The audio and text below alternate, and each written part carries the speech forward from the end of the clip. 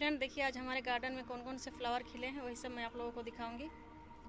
Hello friends good morning Shweta terrace garden में आप लोगों का स्वागत है। तो फ्रेंड्स देखिए आज मेरा गुड़हल के प्लांट में कितनी अच्छी फ्लावरिंग हुई है। बहुत ज़्यादा क्वान्टिटी में है, देखिए। पिंक कलर की है।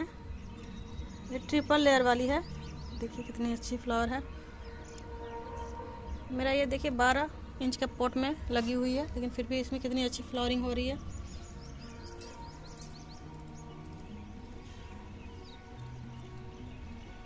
देखिए फ्रेंड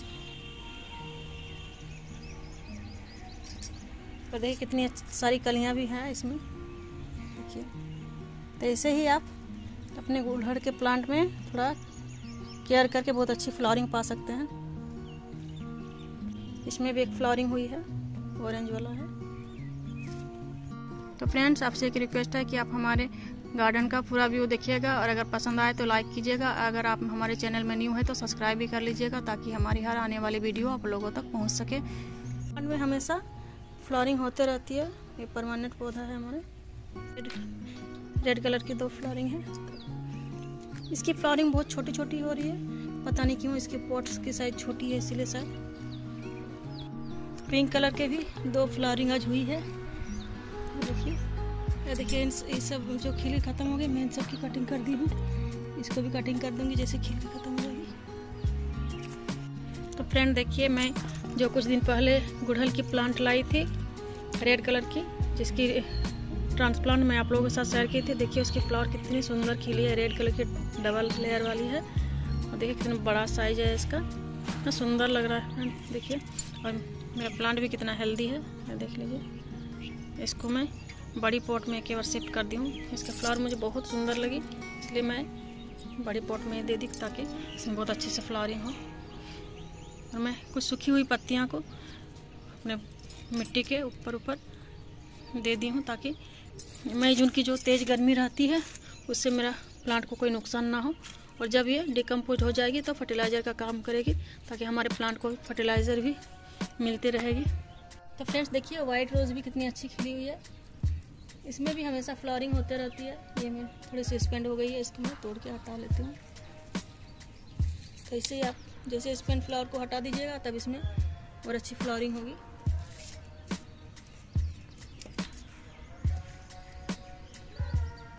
तो मैं दो दिन पहले ही एप्सन सोल का स्प्रे की थी। और ये रेड रोज है। तो ये हमारे चार पाँच साल पुरानी प्लांट है, लेकिन ख़राब हो गई थी। देखिए अभी। इसमें फ़र्स्ट बार फ्लावरिंग हो रही है इस साल। हमारी अच्छी से खिली नहीं है। जब ये खिल जाती है तो और सुंदर दिखती है। अब पंद्रह बीस दिन रह जाती है फ्लावर इसमें नहीं होती इतना जल्दी इसकी फ्लावर और देखिए, इसमें भी एक पिंक रोज़ खिली है। और कितनी सारी कलियाँ हैं। ये हमारी फोर्टी रुपीज़ का रोज़ प्लांट है। एकदम छोटे छोटे प्लांट में लाई थी नर्सरी से। ये हमारी मिनिएचर रोज़ है। येलो रोज़ भी कितनी अच्छी खिली हुई है। इसमें भी हमेशा फ्लावरिंग होते रहती है। और देखिए, मैं ऑर्गेनिक फर्टिलाइज़र देती हूँ। केले के छिलके को सुखा के उसका पाउडर बना के या फिर केले को पानी में भिगा के दो दिन रख के फिर देती हूँ। फिर इसमें कितनी अच्छी फ्लावरिंग हो रही है। हमारी स्पेंड हो गई है, मैं इसको यहाँ नीचे से कट कर लूँगी। तो देखिए, अगर हम यहाँ से कटिंग करेंगे तो यहाँ से और दो सूट्स निकलेगी। और इसमें से और अच्छी कल, कलियाँ आएगी और ज़्यादा फ्लावरिंग होगी। तो जैसे आपकी फ्लावर सूख जाएगी तुरंत आप उसको कट करके हटा दीजिएगा।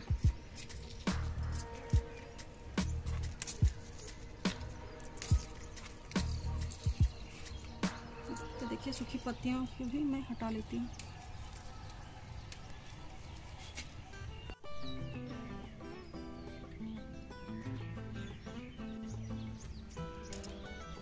इम्पेशंस में हमेशा देखिए कितनी अच्छी फ्लावरिंग होते रहती है। देखिए फ्रेंड्स यहाँ से कटिंग लेने के बाद देखिए कितनी अच्छी और हमारी प्लांट पूरा घनी हो गई है। नीचे से और कितनी न्यू न्यू ब्रांच निकली है देख लीजिए एक फ्लावरिंग मेरा जरवरा में भी हुई है। फ्रेंड्स देखिए स्ट्रॉबेरी के प्लांट में हमारी कितनी अच्छी फ्रूटिंग हुई है, देखिए। ये पूरा रेड हो गई है।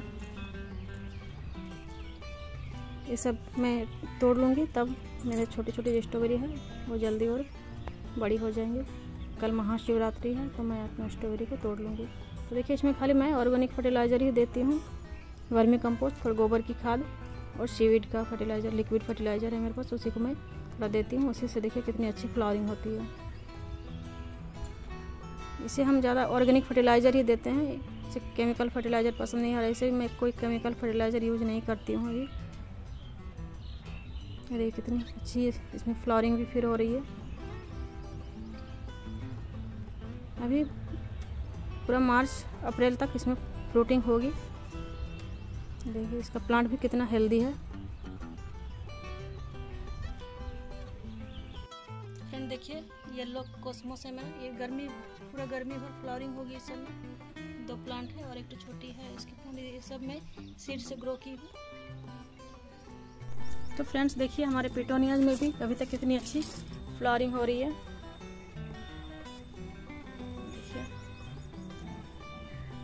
तो जितनी भी हमारी सूखी हुई फ्लावर है, उन सबको कट करके हटा लेने से हमारे प्लांट और हेल्दी रहते हैं।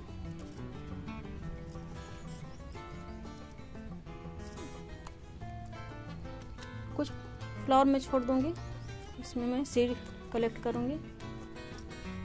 जब भी आप सीड कलेक्ट करेंगे देखिए फ्रेंड यहाँ से आप सीड कलेक्ट करेंगे। ये देखिए ये जब मेरून मेरून हो जाएगी तो जानेंगे वो तो फ्रेंड्स देखिए डहलिया के प्लांट में भी कितनी अच्छी फ्लावरिंग हो रही है। पिटोनिया दिन भर की धूप लगती है फ्रेंड हमारे पौधे में इसलिए हमारी फ्लावर जल्दी जल्दी सूख जा रही है। ऐसा कोई जगह नहीं कि मैं इसको छाँव में रखूँ नहीं तो हमारी फ्लावरिंग और ज़्यादा दिन तक चलती। तो मैं कुछ फूल कल यहाँ से तोड़ूँगी। कल महाशिवरात्रि है तो रात को हमारे यहाँ भोले बाबा में सजाने के लिए कुछ फ्लावर वहाँ दे दूँगी। रात को भोले बाबा के मंदिर में सजाते हैं फ्लावर से। और देखिए, गोल्डन वाली डहलिया भी हमारी फ्लावरिंग हुई है। तो फ्रेंड, देखिए, डेंथस में भी कितनी अच्छी फ्लावरिंग हो रही है।